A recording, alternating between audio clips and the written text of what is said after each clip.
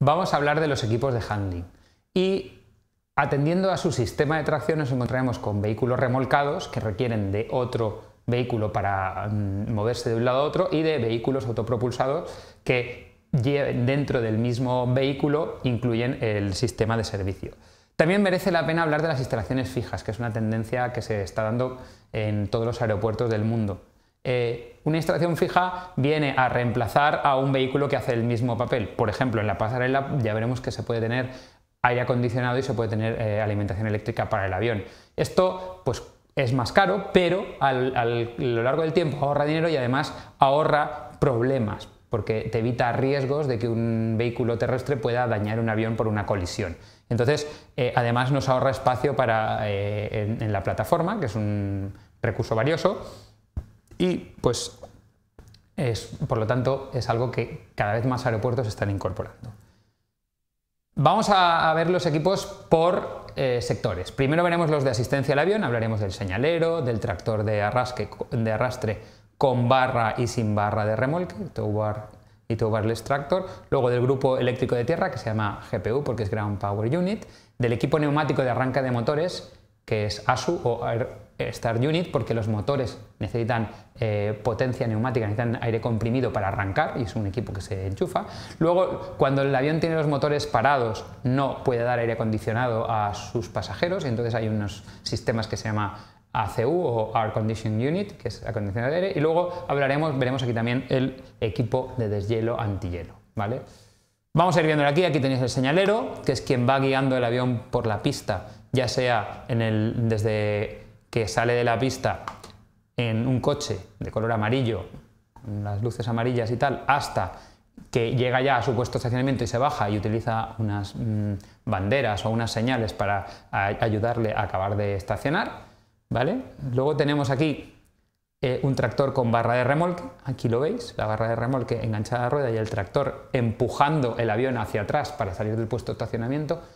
Eh, el avión puede entrar y salir por sus medios, no hace falta tractor, pero entonces desaprovechamos más espacio. O sea, si, ponemos todos los, aviones mirando hacia la terminal uno enfrente de otro, eh, aprovechamos más el espacio, pero el avión no podrá salir por sus propios medios. Necesitará un tractor que lo empuje hacia atrás hasta que él ya pueda retomar la maniobra. Bien, los hay con barra y los hay sin barra. Eh, los que son con barra son más económicos, pero necesitan una barra distinta para cada avión. Y Normalmente en los aeropuertos suele haber barras para los aviones más característicos, pero si va un avión que no vuela normalmente ese aeropuerto, normalmente tendrá que tener la precaución de llevar su propia barra porque igual no pueden remolcarlo. En aeropuertos donde hay tractores de este tipo, tractores sin barra de remolque, que lo que hacen es coger la rueda delantera, la rueda de morro, levantarla y manejarla, pues entonces mm, no es necesario el tema de tener las barras.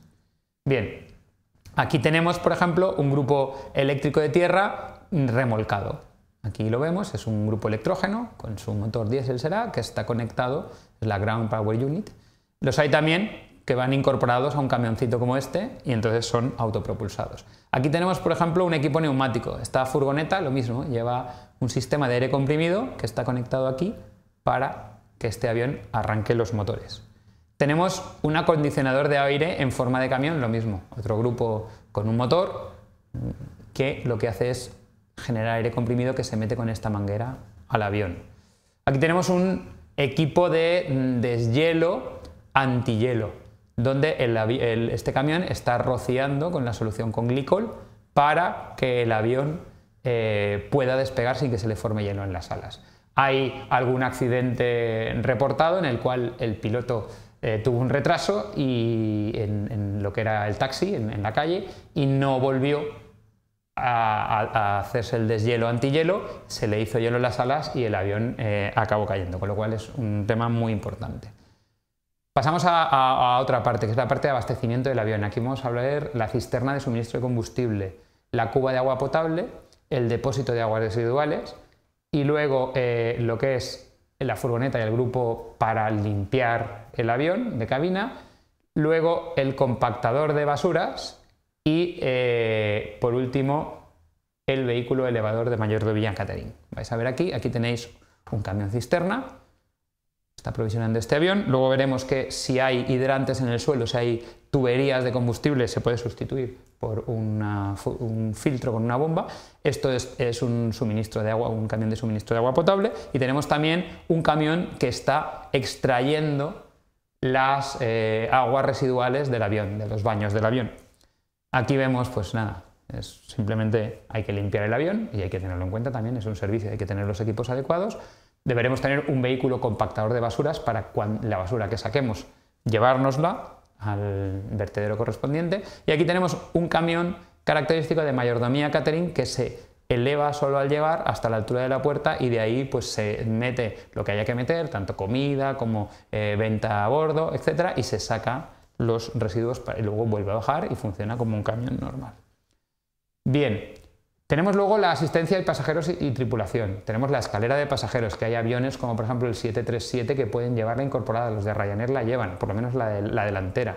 Con lo cual se ahorran la escalera en cuanto a gastos de, tasas, pero además pueden aterrizar y, despegar más rápido porque no tienen que esperar a que les ponga la escalera.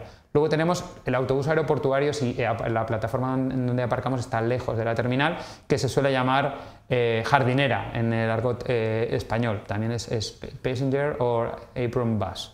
Luego tenemos el vehículo de transporte de personal de movilidad reducida, el elevador de asistencia de personal de movilidad reducida o un vehículo elevador, que es el ambulift este, que realmente eh, es un vehículo muy caro, pero puede, en aviones grandes puede ser muy incómodo subir a alguien en silla de ruedas por la escalera normal. Y luego tenemos pues, furgonetas de transporte de tripulación y de otras eh, funciones y turismos para mover a toda esta gente que está haciendo el handling dentro del aeropuerto. Aquí tenéis una foto de una escalera colocada en un avión. Aquí tenéis la típica jardinera, el típico avión, eh, perdón, autobús de aeropuerto. Esto es un ambulift, un sistema, como veis, es parecido a la de mayordomía, pero aquí se lleva personas. De hecho, eh, también existen este tipo de, sistemas para transportar a gente en vez de jardineras de estas, pero eh, se ven muy poco en aeropuertos por sistemas caros.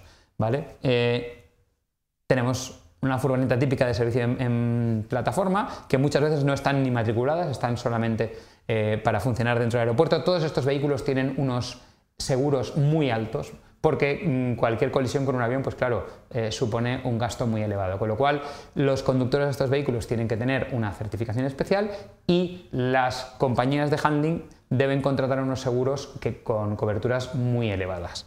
Y aquí tenemos, por ejemplo, un vehículo, en este caso, de transporte de los ingenieros de servicio del aeropuerto, de Dublín en este caso, pero vamos, hay vehículos de, este tipo, ya digo, muchas veces sin matricular mm, y otras que sí están matriculadas porque entran y salen, pero hay para muy diversas funciones. Bien, y con esto termino este vídeo.